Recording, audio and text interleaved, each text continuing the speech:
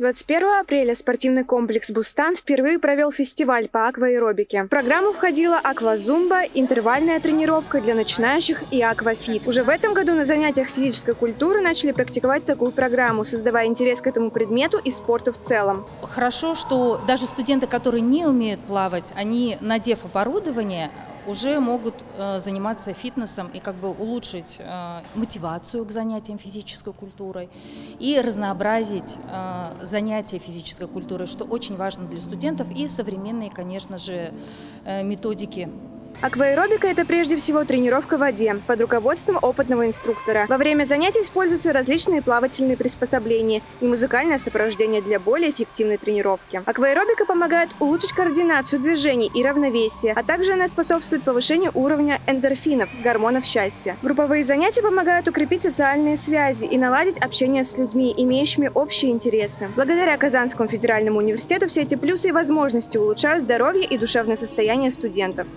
Раньше это вообще проходило только в фитнес-клубах, да, и мы вот это все выводим в массы, в студенческую среду, потому что ребятам тоже очень интересно заниматься современными какими-то практиками и быть в тренде. При правильных нагрузках и тренировках акваэробика приносит только пользу. Укрепляется все тело и сжигается максимальное количество килокалорий. Особенно участникам понравилась танцевальная программа акваэробики своей ритмичностью и необычностью. Виктория Сухих, Фарид Захитаглы, Univer News. Thank